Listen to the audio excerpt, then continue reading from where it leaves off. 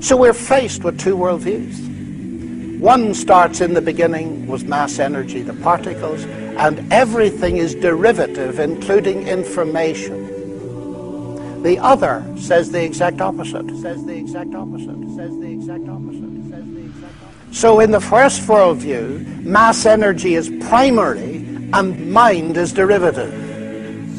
In the other worldview, mind is primary and mass energy is derivative. Is derivative. Is derivative. Is derivative. And so far as tonight's lecture is concerned, it is the diametrical opposition between the worldview of materialism and the worldview of theism. It is a conflict between these two worldviews, but I want you to notice there are scientists on each side of it.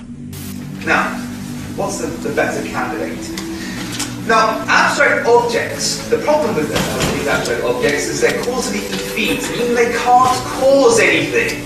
Like, for example, the number one can't cause anything. The simple law of arithmetic, 1 plus 1 equals 2, never brought anything into being. I wish it did. It never has put any money into my bank account. If I put a thousand pounds into the bank today and later another thousand pounds, the laws of arithmetic will rationally explain how it is that I now have two thousand pounds in the bank. But if I never put any money into the bank myself and simply leave it to the laws of arithmetic to bring money into being, I shall be permanently bankrupt. C.S. Lewis, with usual brilliance, grasped this years ago.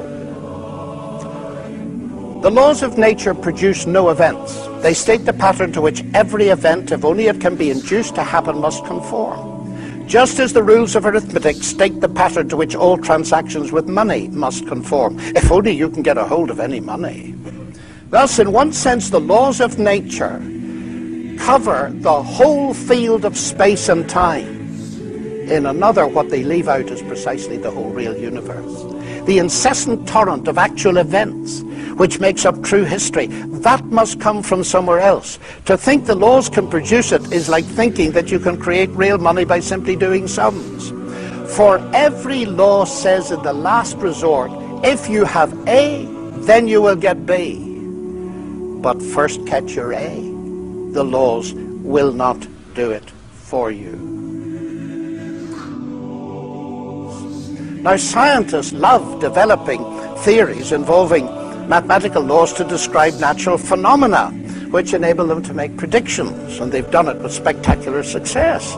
But most are aware, I think, that on their own the theories and laws that they found cannot create anything, let alone a universe. Yet Hawking seems to think they did. Professor Stephen Hawking says that modern science has established there was no need for God in the creation of the universe. In a new book, Hawking suggests that a theoretical framework known as M theory can explain how the Big Bang was an inevitable consequence of the laws of physics. According to him, it is the laws of physics, not the will of God, that provide the real explanation as to how the universe came into being. The Big Bang, he argues, was the inevitable consequence of these laws. I quote, because there is a law such as gravity, the universe can and will create itself from nothing. Now, a supernatural being, or God, is an agent who does something. Dismissing such an agent, Hawking ascribes creative power to physical law. But physical law is not an agent. Hawking, it seems to me, is making a classical category mistake by confusing two entirely different kinds of entity, physical law and personal agency. Our physical laws are a description, usually mathematical, of what normally happens under certain given conditions. This is surely obvious from the very first example that Hawking gives in his book. The sun rises in the east.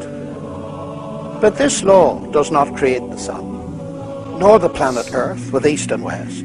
It is descriptive and predictive, but not creative.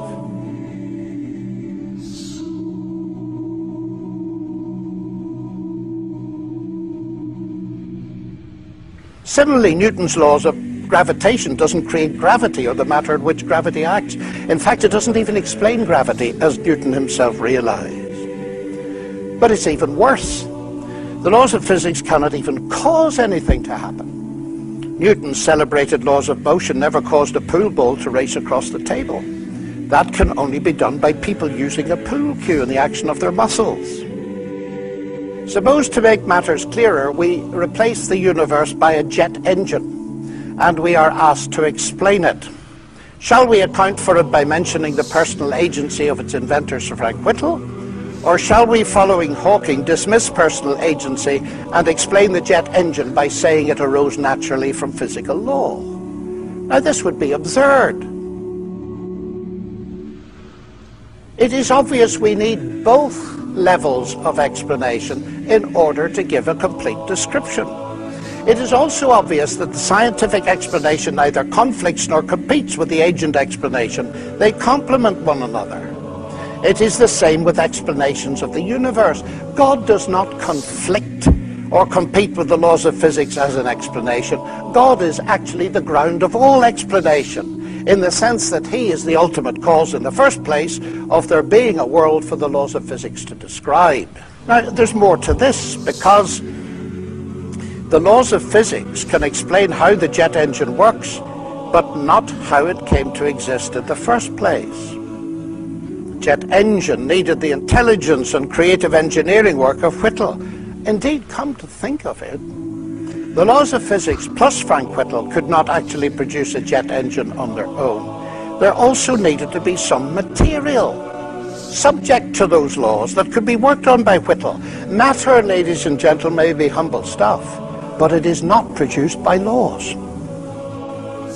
I submit to you that the world of strict naturalism in which clever mathematical laws all by themselves bring the universe and life into existence is pure science fiction. Pure science fiction.